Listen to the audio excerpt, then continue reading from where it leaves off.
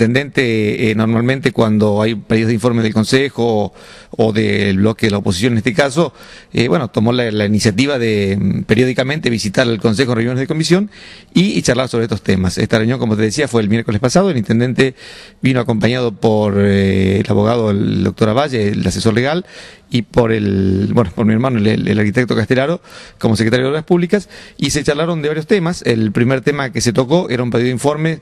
que eh, había sido presentado al Consejo por el bloque de la oposición y fue aprobado con alguna pequeña modificación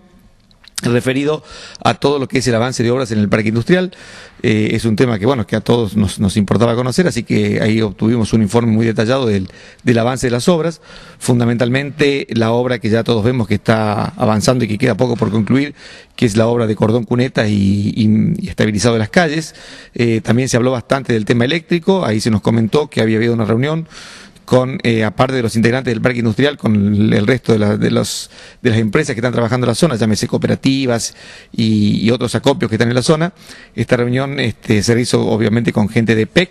En ellas eh, se estableció el programa de, trabajo de un proyecto a futuro que eh, también contó con la presencia del ingeniero Tamburrini, que es el profesional contratado por la municipalidad para desarrollar este proyecto. Así que este proyecto también está, se nos comentó el, el avance de esta obra, está en proceso de ejecución y obviamente una vez que se termine de hacer el cómputo final de costos. Eh, bueno, la, idea es absorber en conjunto entre los eh, empresarios y la municipalidad el costo del traslado de la línea. Obviamente hay que, hay que partir de la planta de rebaje hasta el sector con una línea, creo que de media tensión, y posteriormente, bueno, la línea de distribución interna. Eh, con respecto al otro tema importante, que era el tema gas, ahí se nos comentó que el tema gas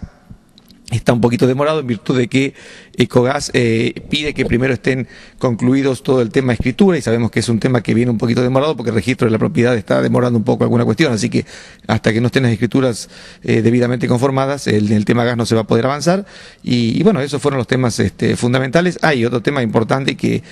que, que, también charlamos, que se hizo un convenio con todos los integrantes del parque industrial nuevo, estamos hablando, para eh, colocar, este, bueno, sobre esta capa de escombros que está colocada, estabilizando las calles, se va a colocar una capa de ripio y los mismos este, industriales van a, encargarse del traslado de este ripio a, un, a, un, obrador que está ahí en la zona, creo que es el obrador de AFA. Eh, posteriormente la municipalidad se va a encargar de, distribuirlo. Y eh, bueno, una parte del costo va a ser absorbido por los industriales, el costo del flete me refiero, y la otra parte va a ser absorbido por la municipalidad.